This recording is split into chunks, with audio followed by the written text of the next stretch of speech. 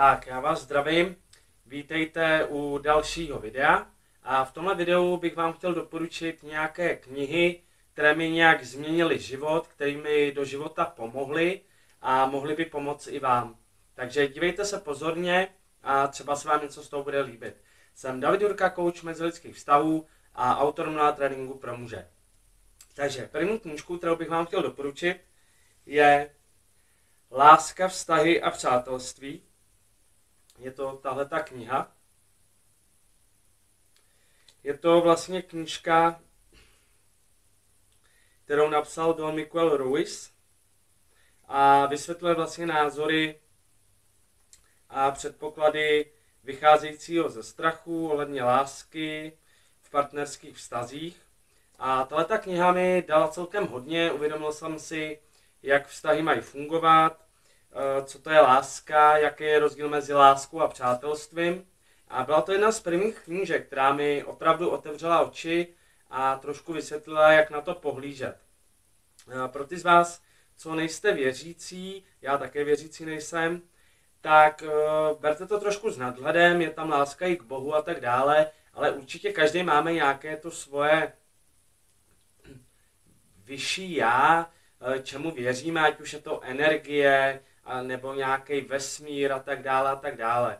Jo? Takže určitě tuhle tu knížku mohu vřele doporučit. Jako další knížka, která mi změnila oči, a chce to brát trošku s nadhledem, a to podle skutečné události, je knížka o svádění, jmenuje se Hra. Napsal to Neil Strauss a je to vlastně o novinářovi, který měl problém s ženami a chtěl se zasvětit do svádění pick-upů, chtěl pochopit, co to je pick-up, neboli e, svůdníci a začal se v Americe vlastně učit od těch nejlepších. Dneska je to jeden ze svůdníků v Americe, který uh, má svoje kurzy, má svoje online kurzy, píše knihy a začal mi vlastně kvůli tomu úspěch. Uh, změnil image, změnil chování a učil se od těch nejlepších. Je zapotřebí si vědomit, že je to psaný formou, aby to všechny bavilo, aby to mělo nějakou formu příběhu a některé věci se z toho opravdu dají aplikovat, ale zase ne všechno. Jo? Jsou to věci, které se dají aplikovat v Americe a na české poměry jsou tam věci, které se sam nehodí. Ale dá se z toho vzít opravdu třeba 70-80%. Takže tuhle tu knížku mohu vřele doporučit. Určitě si ji přečtete, kdo jste ji nečetl, tak ji budete úplně hltat poprvé. Takže určitě ji doporučuji. Tak, jako další knížku, tu tady nemám, bych ale doporučil uh, The Secret, neboli tajemství viděl jsem i film, je to vlastně knížka o tom, že to, co si přejete a chcete mít, to budete přitahovat, že vám to vesmír dá. Já tomu do určitý míry věřím, ale nevěřím tomu tak, že budu sedět na zadku a budu říkat chci vilu, chci vilu, chci vilu a ten vesmír mi dá vilu. Takhle tomu nevěřím. Já tomu věřím formou, že něco když chci a budu si to jakoby furt sugerovat, tak proto začnu něco v podvědomí dělat. Ten můj mozek to začne vnímat tak, že má začít proto něco dělat. Takhle tomu věřím, takže určitě tuhle tu knížku mohu za sebe doporučit, nebo film, a koukněte na to. Jako další knížku, kterou tady taky nemám, je Cesta pravého muže. Je to od Davida Dejdy, je i audiokniha, vřele doporučuji. Opět mi to otevřelo oči, co se týká mezi rozdíly mezi muži a ženami. Dalo mi to opravdu hodně. Jo, díky tomu jsem si uvědomil spoustu zase věcí, jak muž by se měl chovat k ženě, eh, co muž by chtěl správně od ženy, jaký je ženy poslání, jaký je mužovo poslání a tak dále. Takže určitě tuhletou knihu nebo audioknihu taky doporučuji Cesta pravého muže. Je to fakt pecka. A teď bych jsem chtěl zmínit tři knížky o stravě, které mi také změnily život. Jako první je to Jídlo na prvním místě. Je to od Dallas a Melisy Hartwigových. A je to kniha, která se zaměřuje na to, že si máte projít program, programem Hul 30 a je to vlastně program na 30 dní, který vám stanovuje nějaký pravidla, jak jíst, co byste měli jíst, jaký porce, čemu se vyhnout, co naopak do té stravy zařadit A je to takový jakoby restartovací program, který by vám měl pomoct od únavy, od akné, eh, řekněme od nějakých zažívacích problémů a tak dále a tak dále. Jo, určitě doporučuji, zkuste si to a mě tahle ta knížka otevřela oči, že mi vysvětlila, jak naše tělo funguje, jak fungujeme my a není to psaný žádnou složitou formou, takže to opravdu pochopí každý. Takže tuhle tu knížku mohu za sebe jedně doporučit a tam mě vlastně potom přivedla dál ke stylu stravování paleo, což je jakoby, že se vracíte do dob paleolitu a snažíte se zaměřit na potraviny, které se jedly dřív. To znamená maso, zdraví tuky, ořechy, nějaký bobuloviny, eh, vajíčka, zelenina a vynechání rafinovaných cukrů a všechno, co je jakoby chemicky zpracovaný.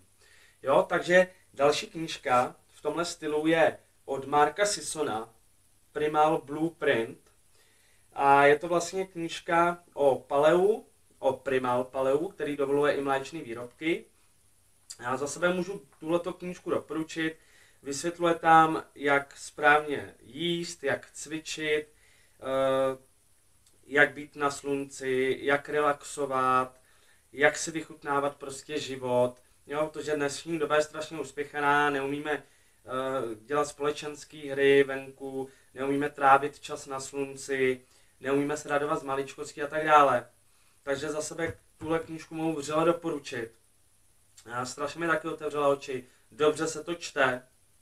A jako další knížku, kterou tady mám, bych vám chtěl doporučit taky ohledně palea, je to Poznejte paleo superpotraviny.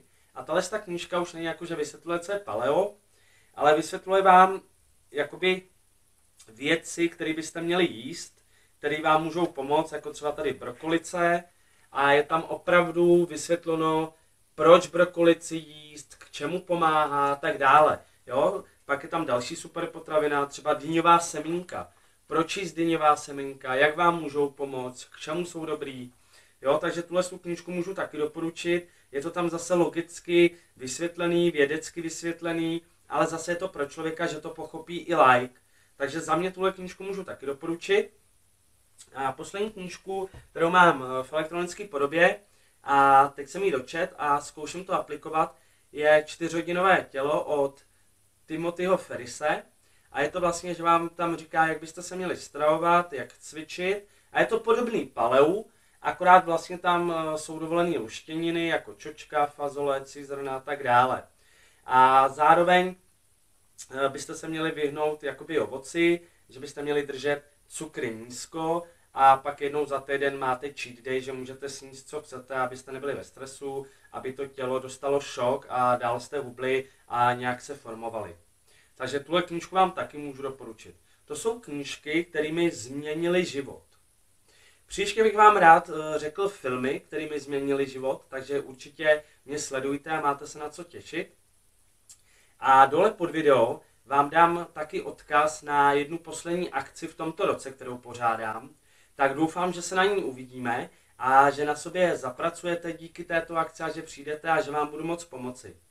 Já doufám, že se vám tohleto video líbilo, pokud ano dejte like, případně o něm dejte vidět do světa lidem, ať eh, mě můžete tímto podpořit. A nebo mi nechte pod videem komentář a můžeme tady na tyhle ty knížky, na ty témata pokecat, co si o tom myslíte vy, nebo jakou vy máte oblíbenou knihu, která vám změnila život. Takže já se s váma zatím loučím, mějte se hezky a uvidíme se u dalšího videa. Čau, čau.